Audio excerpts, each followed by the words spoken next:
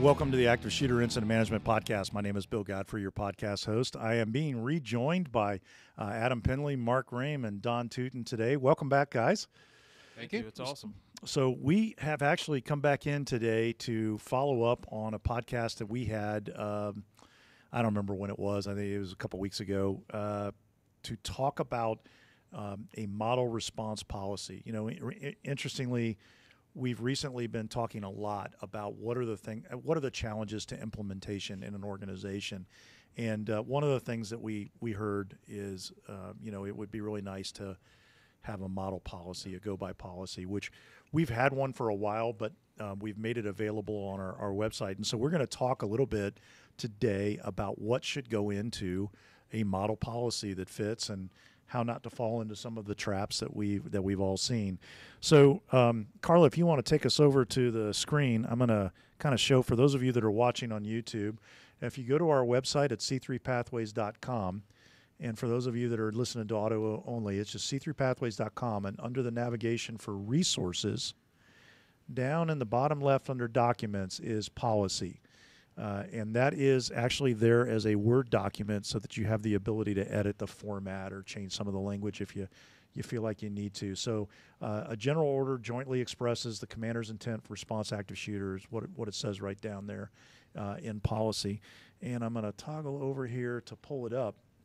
So, our model policy, as you know, as you guys are well aware, but for the audience, it's only three pages. It's three pages, and it's a joint policy for law enforcement, fire, EMS. So the police chief, the fire chief, EMS chief, emergency manager, the sheriff, whoever, they all sign one piece of paper, and then that piece of paper gets copied and put into everybody's everybody's book, which is you know anachronism because we all have to have our own policies. We'll talk Right. about that. But right here at the very top, this is written in the military style of the five paragraph order for commander's intent. And so, right here in the very first paragraph, it expresses that this is the commander's intent, but it gives responders the authorization to deviate from this policy if they determine that that's appropriate, necessary, and the best interest. There's no way that you can have a policy that's going to accommodate every single threat. And so, it's important to, to say, uh, responders, you have the authority to deviate from this. Uh, the very beginning is the orientation, which kind of establishes some of the basic uh, data and stats, um, very much uh, surmised, so that if somebody's first exposure to training is this, they're getting they're getting the basics down and dirty what they needed.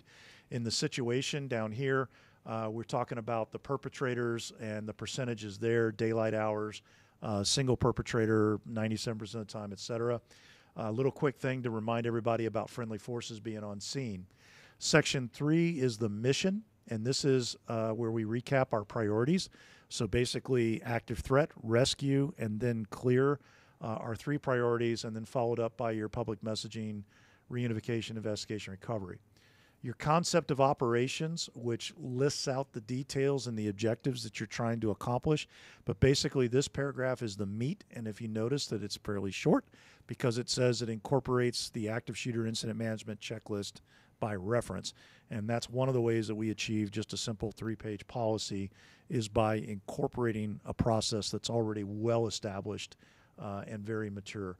Uh, the tasks, where to start on the checklist, your timeline, it sets 20 minutes as the goal for the transport of all injured off the scene.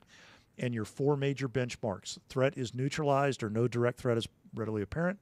Your rescue task forces are deployed. Your ambulance exchange point is secured. Injured are transported or in the process of being transported. Talks about movement and then cross check. Uh, logistics, which is essentially remember to open the EOC. Uh, command and signal, which is a fancy way of talking about the radio.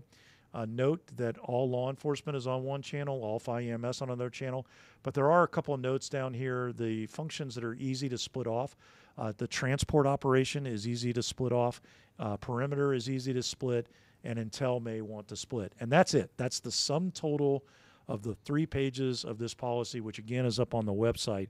So with that, guys, let's take some time and talk about let's start with why is it important to have a joint policy that's literally a single single page policy Yeah, right off the bat, it puts everybody on the same page. Just like you said, it puts everybody on the same mission. It puts everybody on the same goals. It puts everybody on the same parameters that was established by the three or, four or five or however many you have uh, uh, leaders of each one of the organizations.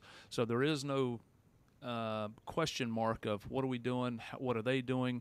Everybody is consistent with the same policy, and hopefully that translate in, translates into training together as well. Yeah, and Mark, what are some of the things that can go wrong when you know law enforcement has its policy, fire, and and they may have all sat in the room and jointly done it, maybe if they're lucky. But what's the problem with having everybody having a separate policy? well, you can look at a lot of case studies after action reports that show that uh, responses that were siloed. I mean, literally, they didn't put a command post, integrated response in a command post. They didn't have an integrated response in regard to their tactical and having a, a triage and a transport officer standing next to each other with their game plan being one and the same. Basically, it's going to, you know, right after the, the threat has been neutralized or held in place, it's going to eat up the clock. We're not going to be organized. We're not going to get our teams together. We're not going to um, do exactly what we need to do to save lives. And, and if we're not on the same page, we don't have the same policy, that's going to be our problem.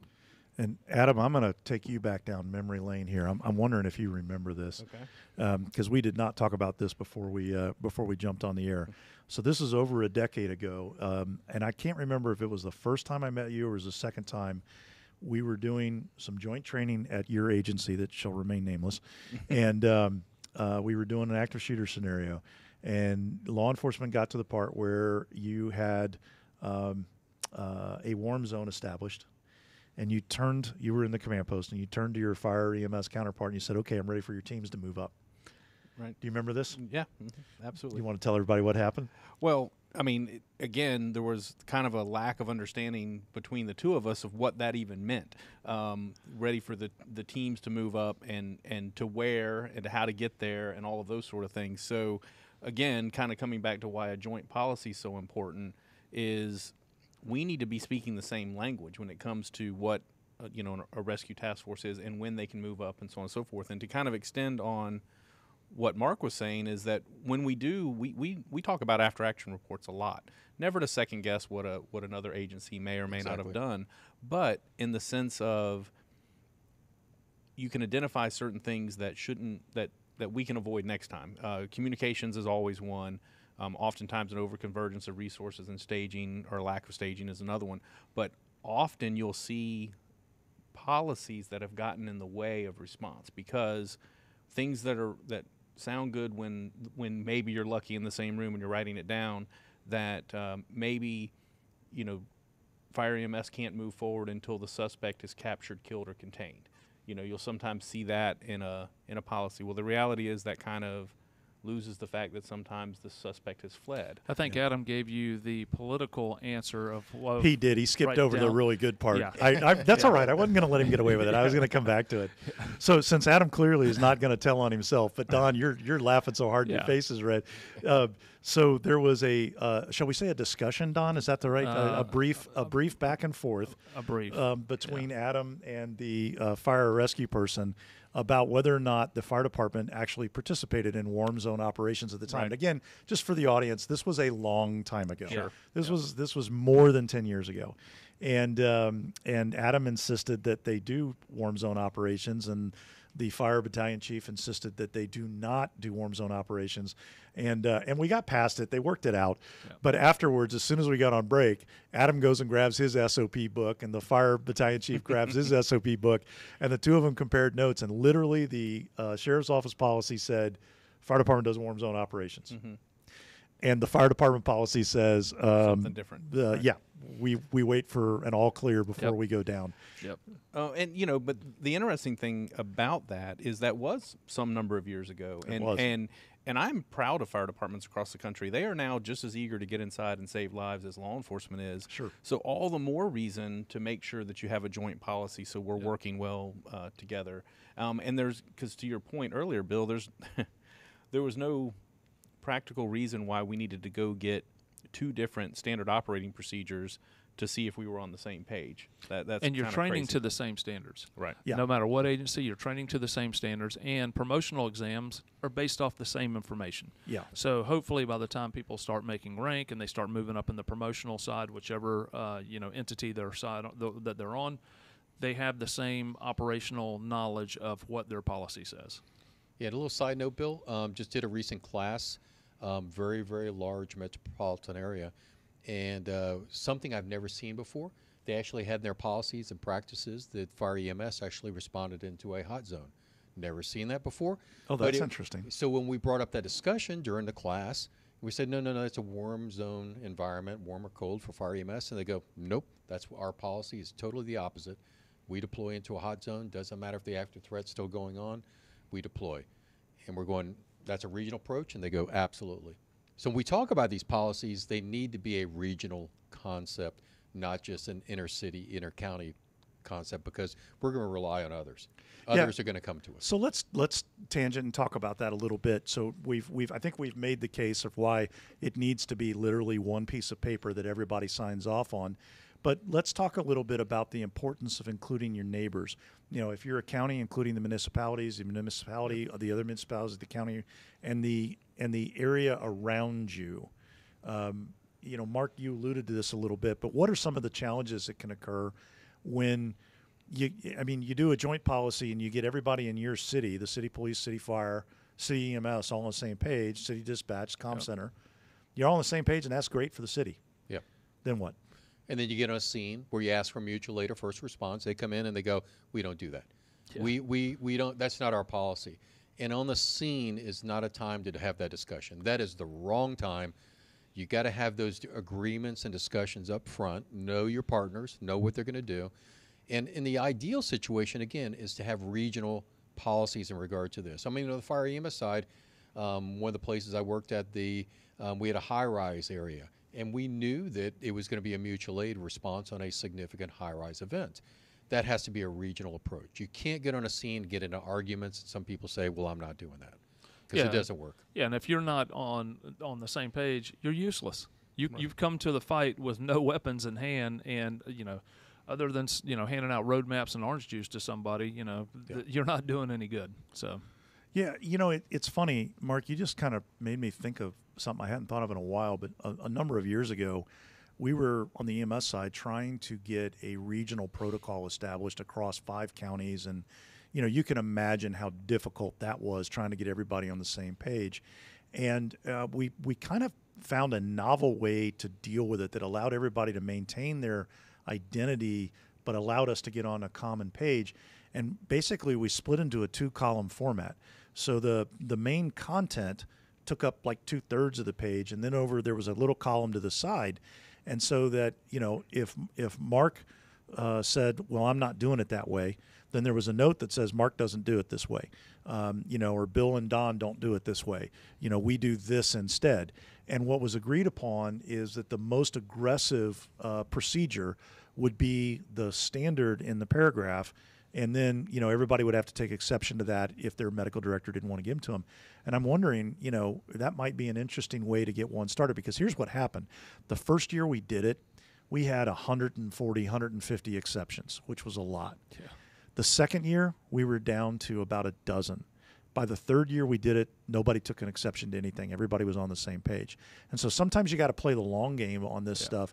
Um, but that might be an interesting you know when we adam we were just talking about this before we got started that we um, uh, we've got a checklist update coming and uh, we'll update a couple things on this policy. That might be an interesting formatting change just to kind of is to kind of set that aside. Well, I mean, at, at a minimum, this provides the starting point for a great conversation uh, about how you might adapt your policies locally. Um, again, using this as a model policy, it clearly paints the picture, provides priorities, gives a starting point. Um, I love that it, it provides a, a target time to get everyone transported because at the end of the day, that's what we're fighting against is time to save those lives.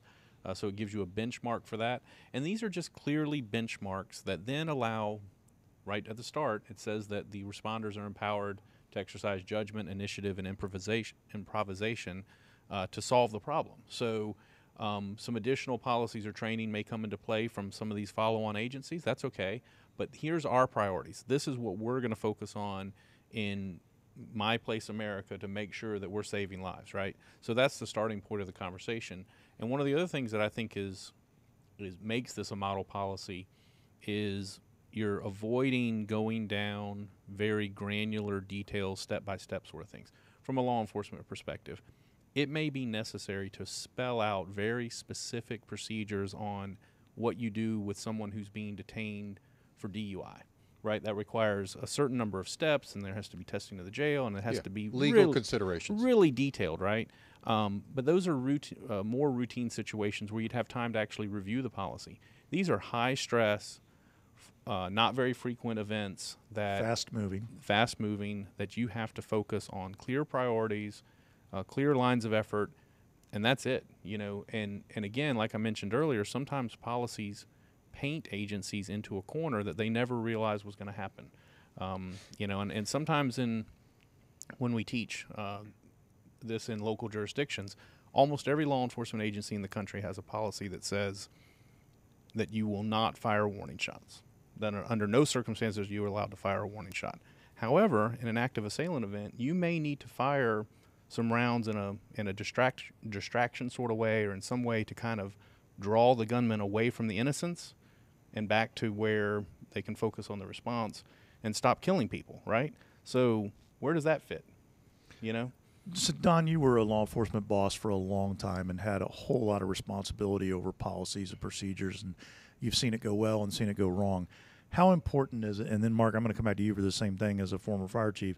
Uh, how important is it to actually put in writing what what Adam pointed out? Is that um, you you are you are giving empowerment and authority to the people that work for you to exercise their own independent judgment, initiative, and improvisation, um, even though you've written out what you want them to do. Yeah. So in my agency that I was with, it was a large agency.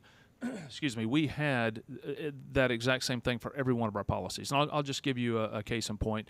You know, one of the policies we had is you'll never provide a precision immobilization technique on a high vehicle or on any vehicle going more than 55 miles per hour.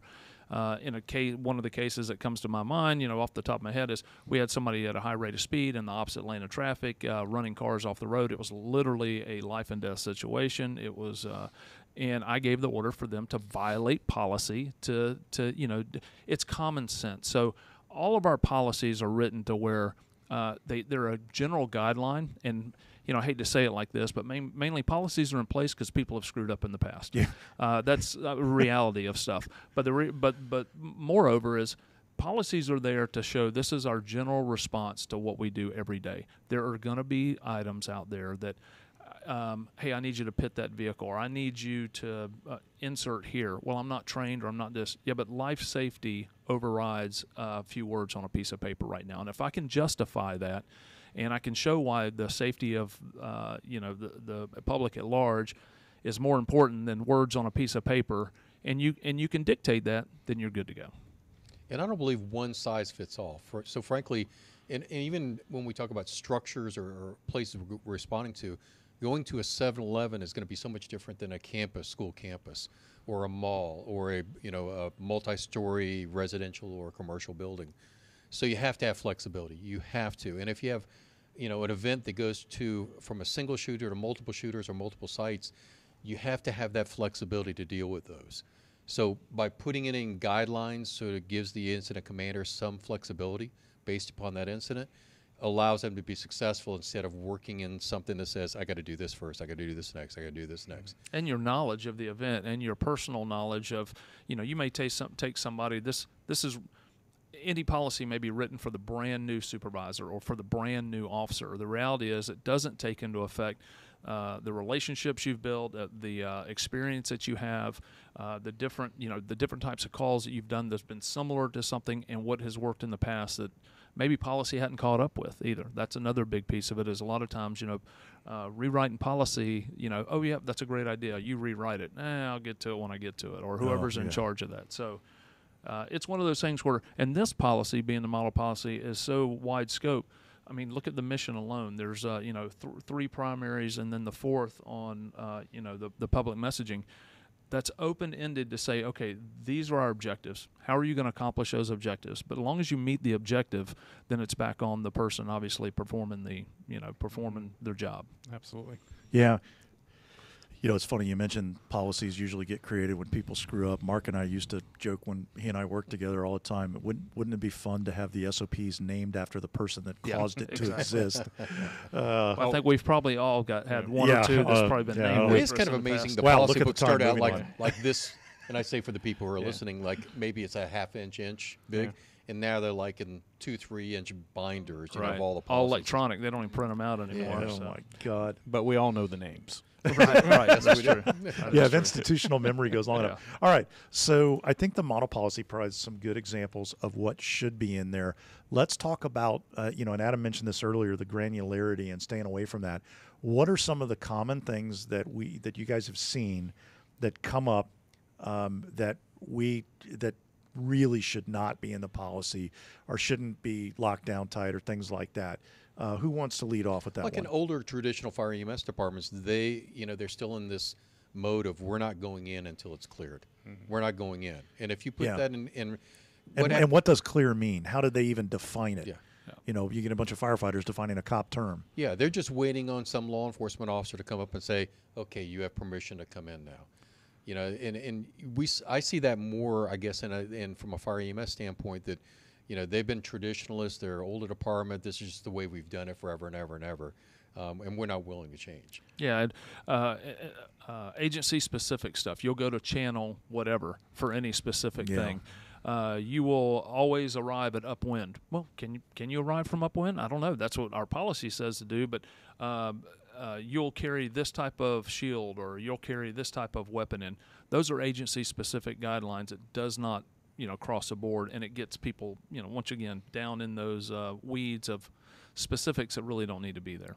Well, in anything that involves numbers. So m- what Mark Yeah. said about a kind of the traditional approach, we you know some many years ago we, we taught the five diamond formation where you know and th- and that may not be well it's not even really trained anymore, but that that wouldn't necessarily be practical. But in the same way, trying to specifically number the formation of your rescue task forces really comes to mind from an, an example that um, Don and I were both involved in, where um, the first in rescue task force on an active shooter event was an ad hoc team of an on duty sergeant and a ladder company that happened to be doing training right next door to where the incident occurred.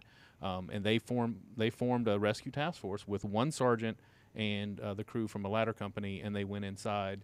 Um, you know, shortly after the, the the active, there was no more active threat. So, um, when you try to define that too specifically, that might not have been allowed. And then you have someone questioning in their mind, and they're slowing down their response because they're questioning in their mind whether it's okay to go in with a something that's different than what the policy says. Yeah, Adam, it's interesting you mentioned that. Um, I actually think that's the most common one I see that I always, I always try to counsel people not to do that.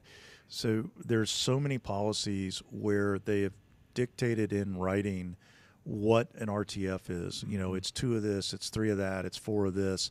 Uh, I know one major metropolitan agency that dictates in writing that an RTF will be five law enforcement and seven fire and EMS personnel. amazing. You know, 12, 12 people, and I'm like, that's not an RTF, that's a column. But you know, you need neither here nor there. But here's the here's the bigger problem. Um, and Mark, you talked about this on on um, you know one of the I think the last time we were together on the podcast. The first RTF team that goes down range should be traveling small and light Yep, lean and mean. clean and mean. They don't know what they're walking into. Yep. But the second RTF, the third RTF that goes through the door 10 minutes later, you know, and there's not been gunfire for 15 minutes, um, or we've got a suspect in custody, or whatever, fill in the blank, that RTF might be two officers and two, three engine companies carrying backboards and stretchers and extra medical supplies and equipment. Uh, and that's perfectly fine. Yep. You, you got to let the circumstances, you know, kind of dictate what you want to do. And that first RTF is like intel- is gathering intelligence. yes. I mean, Yeah. and Yeah. Am I needed, and do I need Right. help? Yeah. I mean, that's how many and, right and what what kind of help and how many do I need? Yeah. You know, if you've got two reds and 12 greens, that's one thing. But if you got 12 reds and two greens, that is a game changer in terms of what you need for resources and equipment. Yeah, in the class we talk about maybe Trojan horse and that fourth or fifth RTF. You know, you can put them, you know, five, six fire EMS person in the back of a rescue unit with backboards and, and scoops and other other, you know, tools to be successful. And you wouldn't do that in the first RTF. You wouldn't do that. And if you put that in writing, you put it in concrete, it ain't going to work. Yeah. Because you don't know if you're going to do that or not. It's got to be dynamic. Yeah, it's, it has to be. And, and just to expound upon that, because I want to make that clear what Mark is talking about. So, uh, you know, you've got a couple of RTFs that have deployed downrange, whatever their staffing may be. You've got extra EMS personnel. Maybe you're a little short on law enforcement personnel. You don't have enough. Um, but you are ready. They're ready to call in for an ambulance. Uh, you've got an ambulance exchange point that's secured. Put five, six, seven, eight people uh, firefighter EMS personnel in the back of the ambulance with the extra equipment and use it literally as a Trojan horse or a bus. Yeah. When it pulls up into the secured ambulance exchange point, those people can get out when that first RTF comes out with the patient or the second RTF or whoever it is. When that rescue task force comes out with the patient, they get the patient loaded and then the extra personnel can all plus that team up and go back and this is just ways of, of Yeah. getting around the resources that you're dealt because you know, here's the other example, and, and Adam, maybe you could talk a little bit about this. You know, you and Don both came from a large metro area. You literally had urban, suburban, and rural in your jurisdiction. Yep. And now I've seen some of the staffing levels you do in the urban area. I know what typically the staffing levels are in the suburban, and I know some of the response times in the urban area. I, I mean, the um, the rural area really stretch out. Right. Y- you've got one agency, one agency, and yet you could have three very different responses. Can you guys talk a little bit about how that can impact? Oh, well, sure. Uh, and we talk about this a lot, um, even when we talk about the fifth man concept. It's a fifth man concept. It's not always a hard number. In other words, Right. if, if you're in a rural area and you have two officers that have gone in as that first contact team, it may be the third officer that has to stay and become tactical to help guide the follow on resources. Whereas if you're in a resource rich area, uh, an urban area where you have multiple officers on duty, you may have seven or eight inside before somebody takes up the, the, the mantle of being uh, the fifth man or becoming becoming the tactical group supervisor. So again, those number anything that involves trying to pin you down to a specific number or a specific moment in time where you will where you will do X, Y, and Z, I think just paints you into a corner because these all of these incidents are dynamic. Another one that came to mind just as we were talking is again from some well-meaning guidance. Oftentimes, fire department policies um, paint all active shooter events as a mass casualty incident, and the reality is is that potentially slows down the response because then that has the chief going to his mass casualty event policy and he's laying out tarps and doing some other things. And again, I'm way outside my lane. You know, my Holiday Inn Express card has expired, but No, you're um, right. You're you're you're right yeah. on the money. I mean, the the the example that I always use when I talk about this, so that because you know you don't run that many mass casualty incidents anymore, and it's just different today than it was before. But the example I always use is, you know, do you do you have a, a medical helicopter? Um, when you have a bad trauma event, do you call a helicopter? In most places, they're either in an area where they do or they're familiar with the procedures. And I always use the example okay, you're in a really big hurry because it's a bad trauma call. We got to get the patient to the surgeon. So the helicopter lands, and 60, 90 seconds later, the helicopter's off the scene with the patient. And everybody's always looking at me in the classroom, and they start looking at each other, and they're, you know, they look back at me and they're shaking their, you know, no, the helicopter's on the ground 10 to 15 minutes while the medics are playing, you know, 20 questions with you, transferring equipment. And the whole time you're looking at your watch going, what are we doing? Yeah. You know, we called a multi-million dollar helicopter because we were in a hurry, and now we just pissed away 15 minutes. It's the exact same thing in an active shooter event. If you go into mass casualty mode and the only thing you had was three people shot. Well, the other piece of that, and building on what both of you guys said, is 80% of the agencies in the area within the United States, roughly 80%, are those smaller agencies. They don't have a lot of resources to throw at things. So you may only have five officers on duty during that time. Maybe, let's just say even 10, a, a decent sized 10 officers on duty it dictates, and you may have one fire uh, station within that jurisdiction. So mutual aid is coming in right off the bat. Sure. So your initial response is going to be, you know, everything that you can do with those two or three people or six people that are on duty, as well as that one fire station that comes in, and maybe they're not full functioning fire station. Maybe they do combat and then rescue is separate. So you're having if if you get too far in the weeds, you've hampered your response without saying, okay, we need to modify this for our area, for our community, and we need to and Mark alluded on it also, coordinate with our outside responses so everybody is on the same page when they come in. I think I think it's a really good point, and you know, and I also do want to remind people. I mean, we're we're um, talking about a model policy that's three pages long, but it does incorporate, you know, it does incorporate the checklist, and that's you know that's a big, big, big component of of the process, if you will, and and so there's it's incumbent upon them not only to train the policy but to train the the checklist and to practice it. Uh, and you know we've always talked before about the importance of integrating everybody together, and boy, you know that holds true in training. You know, fire departments shouldn't be doing, um, you know, any kind of active shooter training where they haven't involved law enforcement, and vice versa.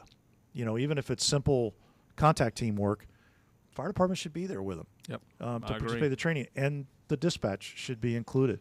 So, um, as we as we come up on our thirty minutes here, and we move to wrap up, what are some of the things that you guys? Uh, let's go around with what uh, are some things that you'd like to see in a policy.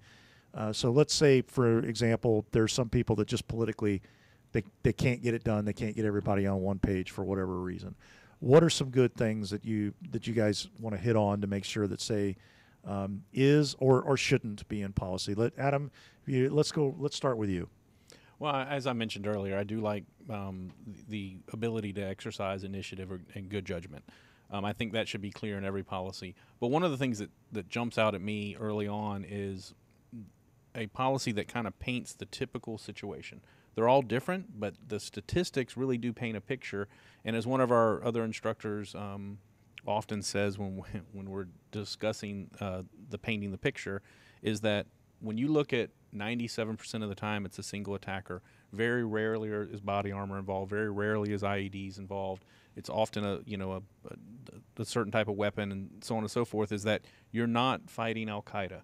You know you, this is not necessarily always going to be a massive gunfight. You are fighting a doofus who woke up in his mother's basement this morning and decided that, that today was the day he's going to do his terrible act. So painting that picture reminds everyone that that the training that you've done, being disciplined, focusing on the priorities will get the job done. Yeah. Mark, how about you? Yeah, I got to echo that. I- I like the flexibility, you know, the capability, you know, for the incident commander to be able to modify it based upon what they're getting exposed to. Um, I do like that the, the, the, the policy shows what our priorities are. I mean, the policy priority is always going to be that threat. You got to take out that threat. You can't really move on to uh, the next step if the threat's in your way. If they're standing right in your face, you got to take them down, remove them from from the equation.